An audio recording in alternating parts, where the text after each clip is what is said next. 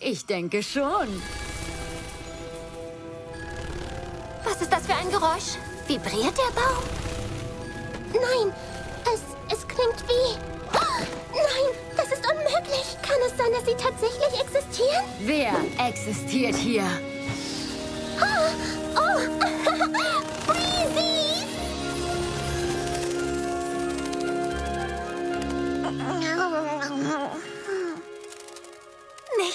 Zu fassen. Die gab es immer in den Gute-Nacht-Geschichten, die mir mein Dad abends erzählt hat. Warte, warte, das ist kein Content. Das ist ein echter Augenblick. Erlebe ihn, Pip. Freut mich, euch kennenzulernen. Ich bin Prinzessin Pip Petal aus Sapphire Heights. Und ihr seid? Winzige, baumige Ponyfeen? Was zum Heu sind Breezes? Und viel wichtiger, sind sie gefährlich? Was? Natürlich nicht. Sie freuen sich nur, uns zu sehen. Die da sagen, wir seien die ersten Ponys hier seit langer Zeit. Oh, diese Sprache verstehst du auch?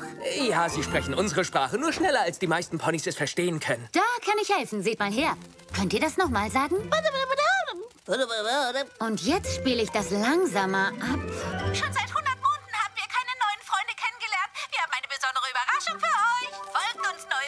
Der Nachtmarkt wartet. Der Nachtmarkt? Was ist das, Izzy?